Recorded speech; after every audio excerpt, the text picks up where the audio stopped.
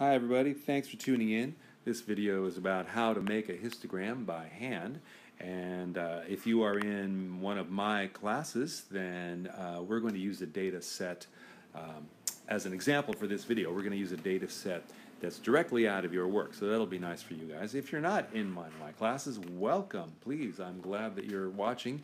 And um, uh, this will still be quite useful to you, I hope, in showing you how to take a data set and make a histogram of that data set.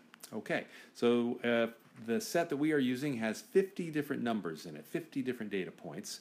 Uh, sometimes we say n equals 50, n representing the number of data points.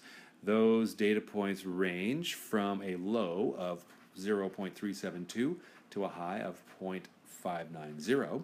And so with that information, uh, we have decided that we are going to let our histogram start at a, low, a number below our lowest point, which we'll say 0.35, and each bar of the histogram will go up by 0.05. So that's the width right there, 0.05, of our uh, data classes, or the intervals of the, of the histogram.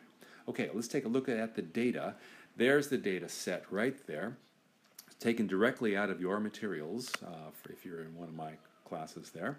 And again, uh, we're using a width of 0.05 and we're starting at 0.350.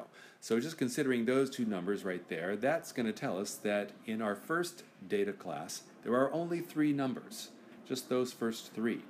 Uh, 0.40 would actually be in the next data interval all right, the next uh, class of data right there. So that class goes all the way up to 0.442 um, because then the next class would start at 0.45. Um, so the lowest value then in our next set is that 0.453, all right? And that goes all the way up for the next two rows, goes up to 0.499. The next data point after that is 0.510, and so that goes into the fourth data class, that goes all the way up to 0.536, and then 0.552 begins the next data class, and there are four data points in that. So you can see in our first data set, we have, sorry, on our first interval, we have three data points. In our next interval, we have 15 data points, and you can count them up. There's 18 in the third one, there's 10 in the fourth one, and there's four in the fifth data class.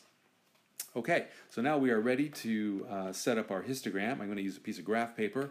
Uh, my horizontal axis, I've decided to let uh, three boxes of the graph paper represent the width of one interval or one data class. And so I'll mark off the axis there. And our lowest number, once again, is 0.350. And so going up by intervals of, or increments of 0.05 means the next one starts at 0.4 the next one is at 0.45 and so on.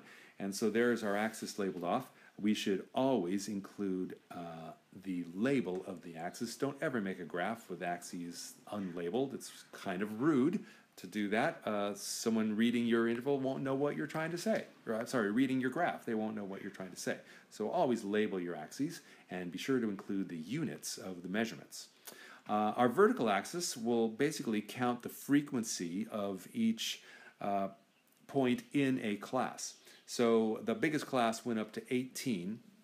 So that's our top of our, our graph there. And that should also just be labeled, I think, uh, with the word frequency is good enough.